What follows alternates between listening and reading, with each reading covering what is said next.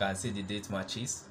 Then the next one is 100 code 100 this code gives you your meter number.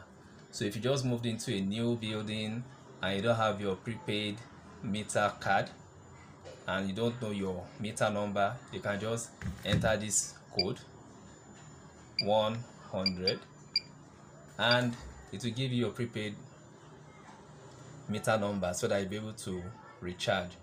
The next code we are going to be talking about is 048 it's for emergency credit. Now since i'm not in need of any emergency credit i'm not going to punch that code into my ciu next one again is uh 200 code 200